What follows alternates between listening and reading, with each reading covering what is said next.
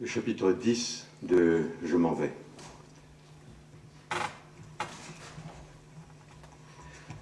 Les incidents avec les chiens se multipliaient. Un autre jour, par exemple, entre deux prismes transparents de glace coupante, on tomba sur un corps de pachyderme qui reposait là depuis va savoir quand.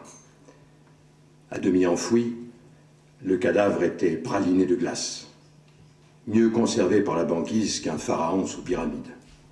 Le froid embaume aussi radicalement qu'il tue. Malgré les exclamations, jurons et claquements de fouet des deux guides, les chiens fondirent avec enthousiasme sur le mastodonte, et ce qui suivit ne fut que craquement haletant, gluant et répugnant de mâchoires affairées.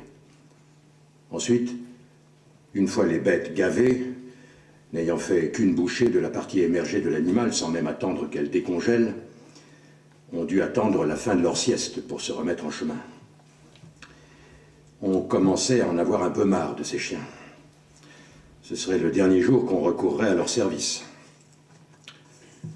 On continua d'avancer, dans la lumière perpétuelle toujours plus obscurcie par les nuées de moustiques. Rappelons qu'ici, rien ne sépare les jours en cette saison, le soleil ne se couche plus. Il faut consulter sa montre pour savoir quand il est temps de se reposer, de se bander les yeux pour dormir, après qu'avec une aile de mouette on a balayé le sol de la tente. Quant aux moustiques, leurs larves étant arrivées à maturité dans les flaques innombrables, ils attaquent de plus belle. Ce n'est plus par dizaines, mais par centaines au mètre cube qu'ils mènent leurs assauts en escadrilles serrées, pénétrant votre nez, votre bouche, vos oreilles et vos yeux pendant que vous arpentez et piétinez le permafrost. Sur le conseil d'Angoutrécoq, contradictoire avec les prescriptions de la faculté incarnée par Feldman, Ferrer dut se remettre à fumer, bien que le goût du tabac retrouvé par ce froid lui procurât des nausées. Mais c'était le seul moyen de repousser les diptères. Mieux valait fumer. Dans leurs moments de furie, deux ou trois cigarettes à la fois. On avançait toujours sur cette piste à peine perceptible que balisaient tous les deux ou trois kilomètres des cairns régulièrement dressés. Simple tumulus de pierre entassés par les premiers explorateurs de la région pour marquer leur passage, les cairns avaient d'abord servi de point de repère, mais ils pouvaient aussi parfois contenir des objets témoignant de l'activité passée dans la région. Vieux outils, restes alimentaires calcifiés, armes hors d'usage et même, parfois, des documents ou des ossements. Ainsi, une fois, un crâne dans les orbites duquel poussaient des brins de saigne. On allait donc ainsi, de cairn en cairn, en visibilité réduite car les moustiques n'étaient pas seuls à obscurcir l'environnement, les brouillards s'y mettaient aussi. Non contents de troubler la transparence de l'air et dérober ainsi les objets au regard, les brouillards pouvaient aussi les grossir considérablement. Contrairement aux choses vues dans un rétroviseur qui sont toujours plus proches qu'elles en ont l'air, parfois dans l'immensité blanche, on croyait à portée de main la sombre silhouette d'un cairn qui était encore à une heure de traîneau. L'affaire du pachyderme avait eu raison de la patience des guides. Dès la première station, après Port Radium, chez un loueur de skidoo, on troqua tous les chiens contre trois de ces véhicules auxquels on, on attela des remorques légères. On poursuivit, monté sur eux, qui, dérisoires dans le silence arctique, émettaient de brèves pétarades de vélosolex, laissant derrière soi, sur la glace poussiéreuse, nombre de taches d'huile et de traînées graisseuses.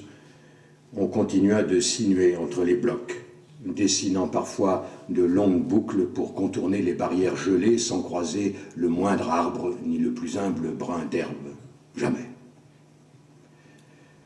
c'est que les choses ont pas mal changé dans ce coin depuis 50 millions d'années.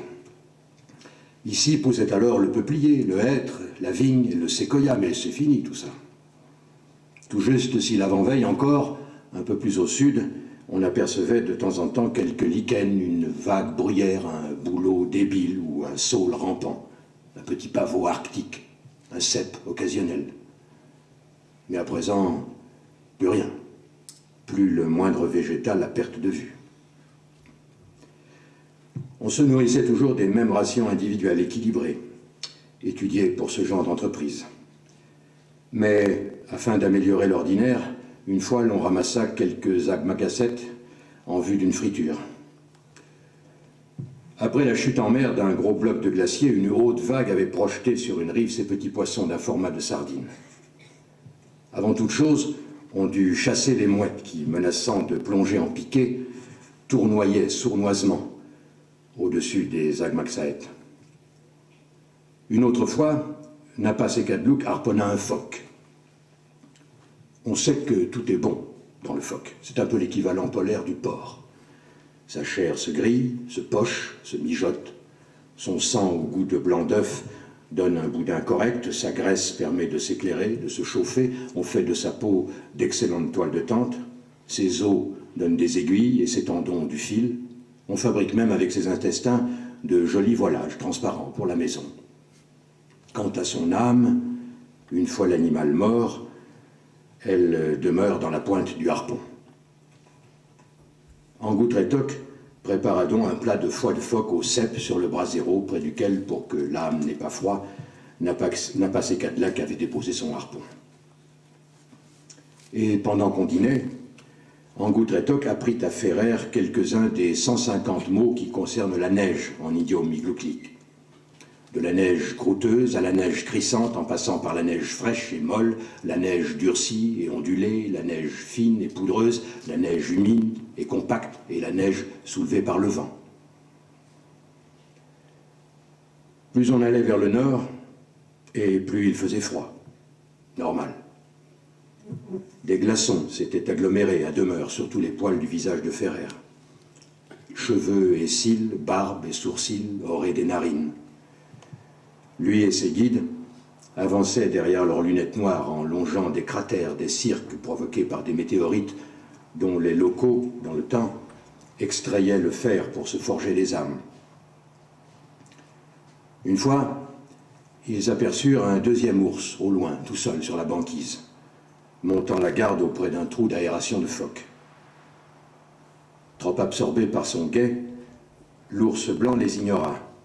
Mais Angoutretok, à toutes fins utiles, fit connaître à Ferrer la marche à suivre en cas de rencontres intempestives avec un ours. Ne pas fuir en courant. L'ours court plus vite que vous.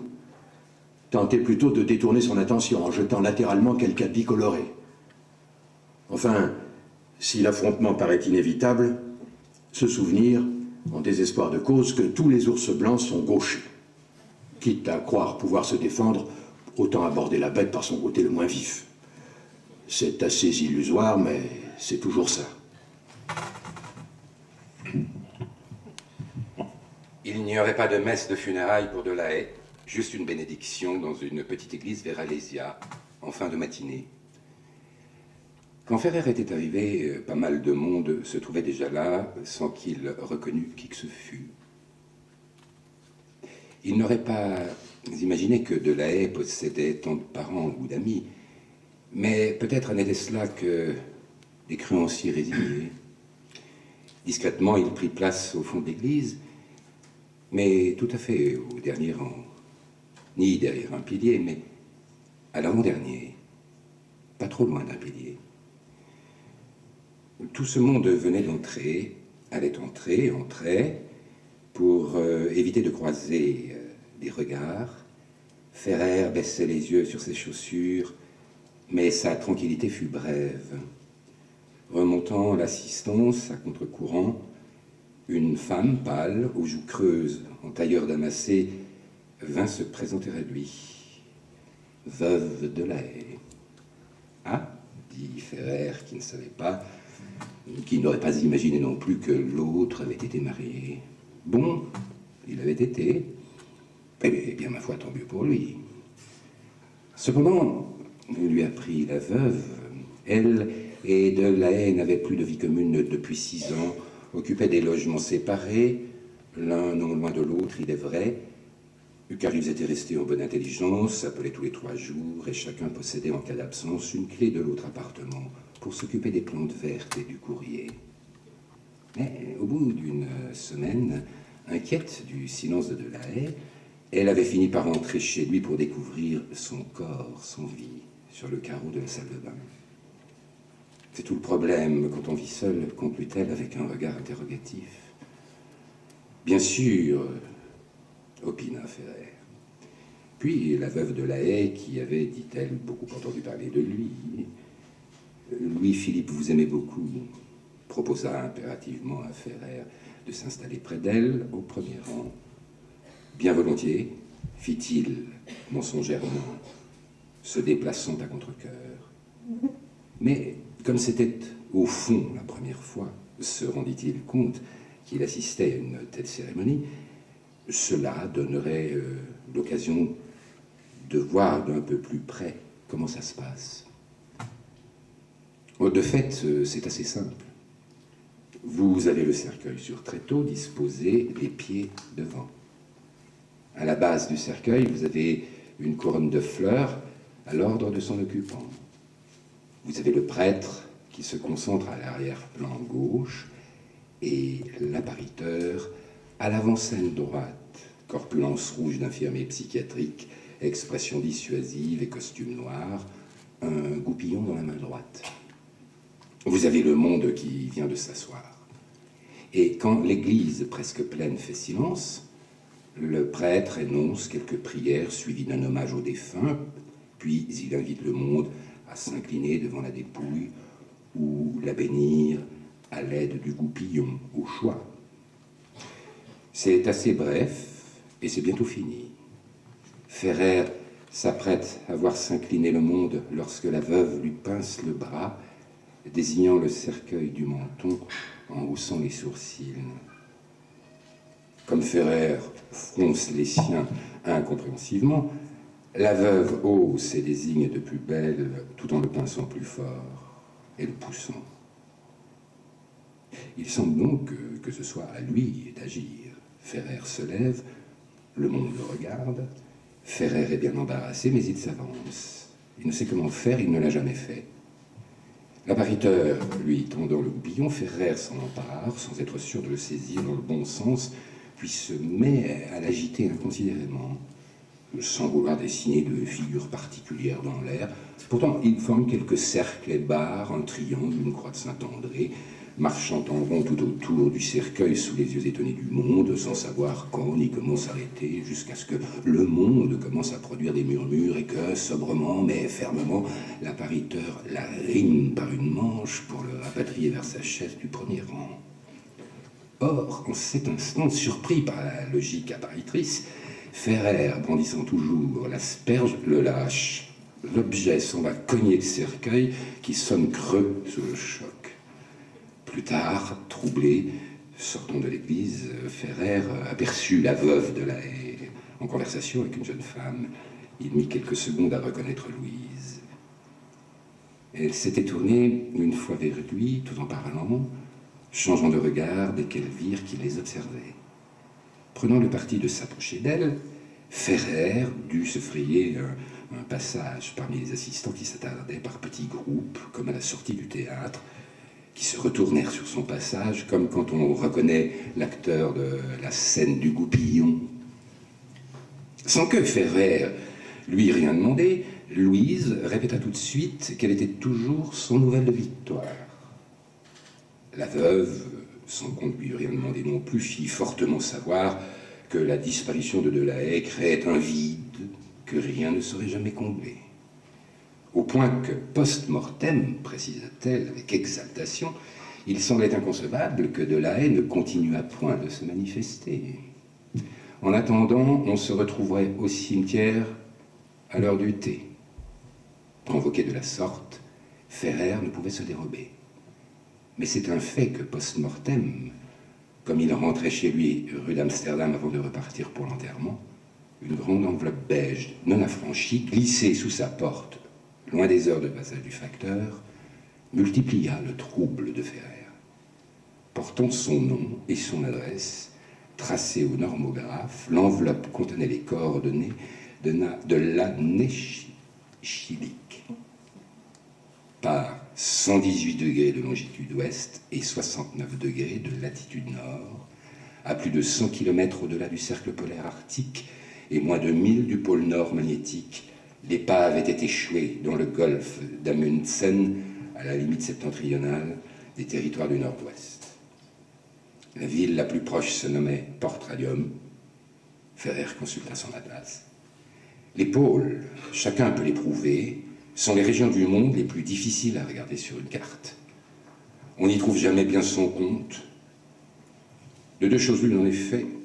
On peut d'abord essayer de les considérer comme occupant le haut et le bas d'un planisphère classique, l'équateur étant pris comme base horizontale médiane. Mais dans ces conditions, tout se passe comme si on les regardait de profil, en perspective fugitive et toujours forcément incomplet. Ce n'est pas satisfaisant.